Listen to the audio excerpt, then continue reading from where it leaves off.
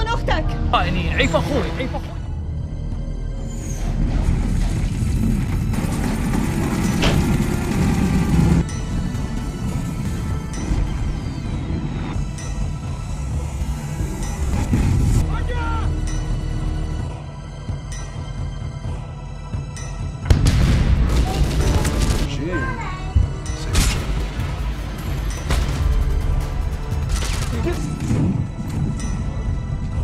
جوبا رقصة الموت الأخيرة.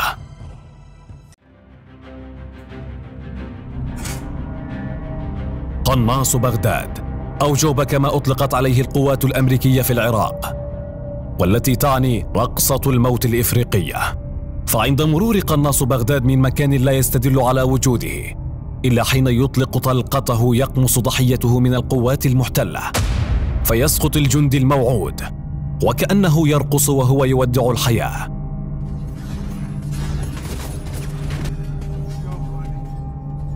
يعتقد أن اسمه الحقيقي هو عزام متعب العنزي طبقا لما أعلنته الاستخبارات الروسية بعد أن حيرت هويته الأمريكيين في العراق لسنوات طبقا لأحد التسجيلات التي أصدرها الجيش الإسلامي في العراق وهي جماعة مقاومة كان قناص بغداد يعمل من خلالها. فإن الرجل كان يحمل رتبة عقيد في الجيش العراقي. زمن الرئيس الراحل صدام حسين. هذا الجيش الذي حارب إيران لثمانية سنوات متصلة. أذاق فيها عدوها الأمرين. من قصف مدفعي مكثف ومعارك بالأسلحة المشتركة من دبابات ومشاة وقوات خاصة. حتى استطاع في النهاية نيل مبتغاه. وسيطر على شبه الجزيرة الفاو كاملة مكملة لصالح العراق.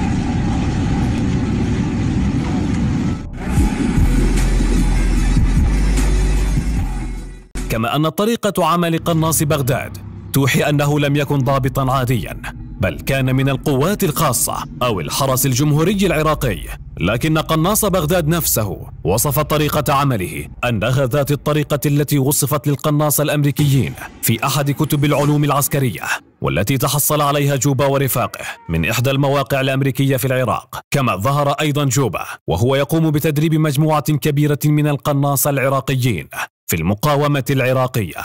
رغم ذلك ظلت القوات الأمريكية في العراق تنكر وجود قناص بغداد خاصة بعد أن أعلنت أمريكا وحلفائها القضاء الكامل على الجيش العراقي في حرب العراق عام 2003 فقد اجتاحت الجحافل الإنجلو أمريكية العراق في ذلك العام لتواجه الجيش العراقي في حرب كان من شبه المستحيل فيه تحقيق النصر للعراقيين نظرا للفرق الهائل في التسليح بين الجنبين فقد كانت الطائرات الحوامة الأمريكية الأحدث وقتها من نوع أباتشي تقاتل الدبابات التي 72 العراقية في معركة مفتوحة غير متكافئة حتى أن هذه الحرب شهدت ولأول مرة إطلاق الصاروخ كروز من طائرة حربية أمريكية على أهداف عراقية علما أن الغريب في الأمر عزيزي المشاهد لم يكن إطلاق الصاروخ من طائرة.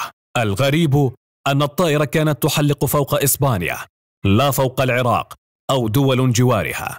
حقق العراقيون أيضا بطولات لا تنسى فمن منا ينسى ذلك الفلاح العراقي الذي أسقط طائرة حوامة من نوع أباتشي ببندقية كلاشينكوف من عام 1949 رغم ذلك استطاعت أمريكا دخول العراق وقررت أن تقضي على كل مظاهر المقاومة العسكرية. وإعلاميا بمحاولة إخفاء الشواهد على وجود قناص بغداد وأمثاله.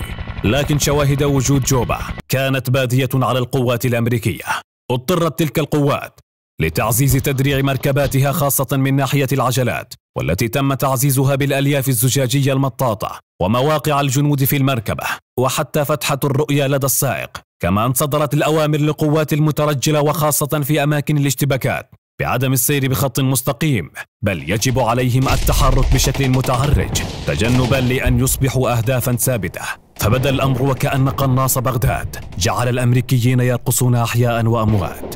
ليستحق اللقب الذي أطلقه عليه الأمريكيين جوبا أو رقصة الموت.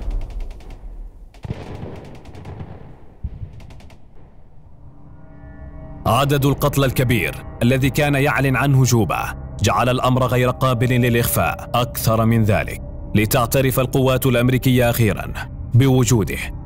لكن هذا العدد من القتلى وبالإضافة لتسجيلات التدريب واختلاف طريقة القنص التي اتبعها جوبا. حذا بالمحققين للقول بأن قناص بغداد ليس شخصا واحدا بل هم مجموعة من القناصة تعمل تحت نفس المسمى. عزز ذلك الاعتقاد عدد القتلى الكبير الذي أعلن عنه قناص بغداد. والذي وصل إلى 650 جندي وضابط أمريكي. فقد قيل أنه تقريبا أباد كتيبة كاملة من قوات المارينز في بغداد مستخدما بندقية عراقية مصنعة محليا زمن الراحل صدام تسمى تبوك وهي ما استخدمه قناص بغداد في كل عملياته.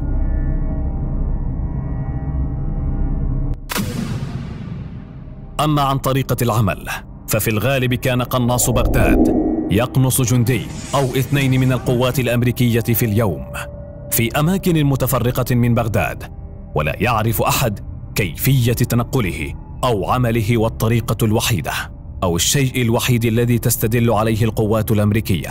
بعد تفتيش موقع العملية وفارغ الطلقة المستخدمة مصحوب بورقة مكتوبة بخط منمق باللغة العربية مكتوب عليها قناص بغداد مر من هنا.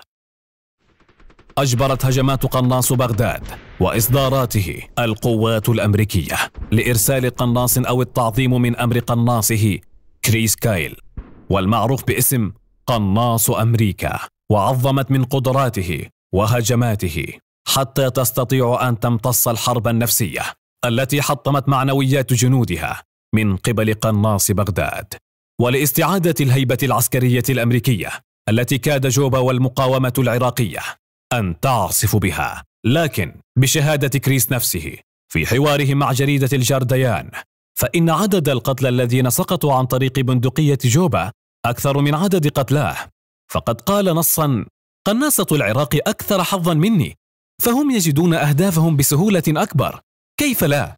وقناص بغداد قد شارك في معركة الفلوجة الأولى عام 2004 تلك المعركة التي اضطرت فيها القوات الأمريكية للقتال من بيت لبيت في محاولة لهزيمة المقاومة العراقية داخل المدينة. وهو ما فشلت فيه فقد استخدمت المقاومة العراقية أسلوب حرب العصابات عن طريق نصب الكمائن للقوات الأمريكية المقتحمة. مما أفقد الأخيرة العديد من الآليات والجنود دون التمكن من استخدام سلاحهم المفضل الطيران. نظرا لقرب أماكن الاشتباكات واستخدام المقاومة لسلاحها الأفضل القناصة فجوبا ورفاقه لا يستدل عليهم ضحيتهم إلا وهو مفارق للحياة. لتنهزم أمريكا في هذه المعركة شر هزيمة ويسجل لجوبا نصرا جديدا على أعدائه.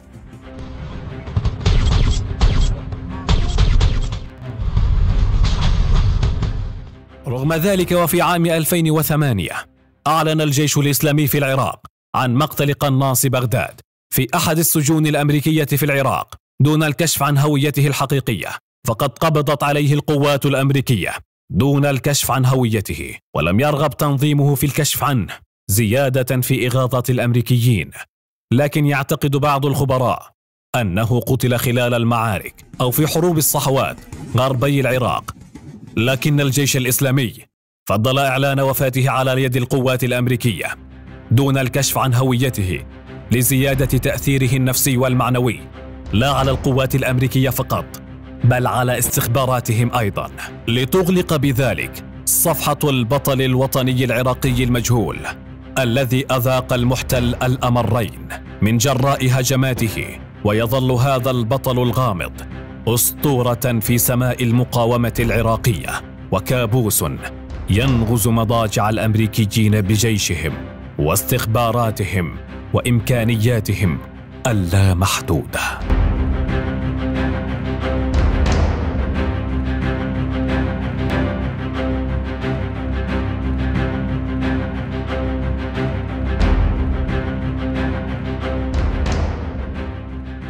ولا تنسى عزيزي المشاهد الإعجاب بالفيديو والاشتراك بالقناة تشجيعا لنا لنشر المزيد إن شاء الله.